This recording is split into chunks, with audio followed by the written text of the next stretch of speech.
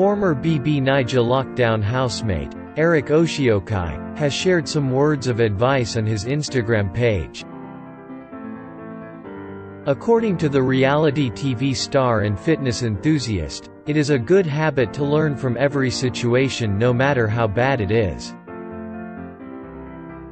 Sharing a picture of himself, he writes, The beautiful thing about learning is that no one can take it away from you.